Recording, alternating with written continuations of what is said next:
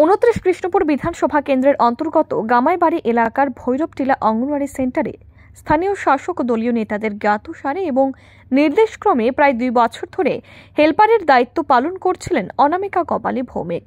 তাকে বৈধভাবে নিয়োগ করা হবে জানিয়েও বারংবার প্রতিশ্রুতি দেওয়া হয়েছিল স্থানীয় পঞ্চায়েত কর্তৃপক্ষের তরফে। এরই মধ্যে অনুমতিপত্র হাতে রিনা মালাকার নামের জনৈকা মহিলা বৃহস্পতিবার এই সেন্টারে হেলপার হিসেবে যোগদান করতে এলে বাধে বিপত্তি আগে থেকে বিনা বেতনে হেলপারের দায়িত্ব পালন করা অনামিকা কপালী ভৌমিক সহ ক্ষিপ্ত হয়ে ওঠেন এলাকার লোকজনেরা। মুহূর্তের মধ্যেই উত্তেজনা ছড়িয়ে পড়ে গামাইবাড়ি গ্রাম পঞ্চায়েত এলাকায়। দু নম্বরের টাকার বিনিময়ে এই নিয়োগ প্রক্রিয়া সম্পন্ন হয়েছে, এমন অভিযোগের সামনে এনে ভৈরব টিলা অঙ্গনওয়াড়ি সেন্টারে তালা মেরে দেয় অনামিকা।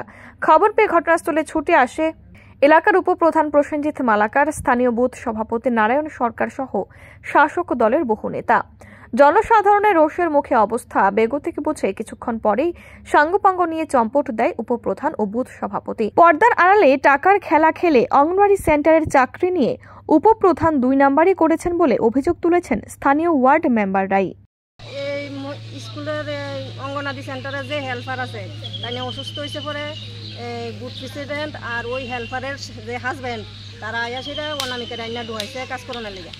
তাহলে অনামিকা কাজ করতেছে দীর্ঘদিন ধরে তাহলে কোনো কাগজ টাগজও তারা দিছে না তারা কাছে গেছে পরে কইছে ক- কাগজ টাগজ লাগতো না তুমি কা- কাজ করতেছো তুমি পাইবা চাকরিটা। কে কইছে কথা? ওই তো বুথ প্রেসিডেন্টে কইছে প্রধানে কইছে। কি নাম তাদের? বুথ প্রেসিডেন্টের নাম নারায়ণ সরকার। প্রধানের নাম ললিত চৌধুরী। আমার কাছে গেছে পরে আমি তো সাধারণ মেম্বার আমি কিছু ঠিক আছে আমি প্রধানরে জানাব আমি প্রধানরে জানাইছি প্রধানে কইছে তাইনে যখন খাটতাছে তাই নই ভাইব আমরা তো ফাটি লোক, আমরা সাপোর্ট করে যারে দেই হেই তো ভাইব তাহলে অক্ষণে যে আরেকজনের নাম নিয়োগ হইছে তাহলে তাইনে যে আমি তো একজন পঞ্চায়েত বডি, আমি কিন্তু জানিই না নতুন একজন নাম নিয়োগ হইছে আমরা যে ফাটাইছি অনামিকার নাম। হ্যাঁ অনামিকার নাম বাদ দিয়া রিনার নাম কীভাবে হয়েছে এটা আমরা জানিই না। ওখানে তাই আইসে জয়েন করণের লেগা, তো ওখানে অনামিকা তালা দিয়া লাইছে। তো স্বাভাবিক বেটি দুই বছর ধরে বিনা বেতনে কাজ করতেছে। বেটির এমন কথাও কইছে না যে তুমি বাইরিয়া যাও গা এমন কথাও কইছে না। তাহলে ওখানে বেটি যখন খাটছে মাগনা খাটছে তাহলে বেটি ফাউনের যোগ্য। তাহলে ওখানে বেটিরে না দিয়ে আরেকজনরে দিছে, ওই মহিলারে না দিয়া, তাহলে তো ওই বেটিতে তালা লাগাইবই। তখন আয়ো, উপর মহিলার লোক আয়া সেটা, যে যে বিনা বেতনে কাজ করছে, আমরা চাই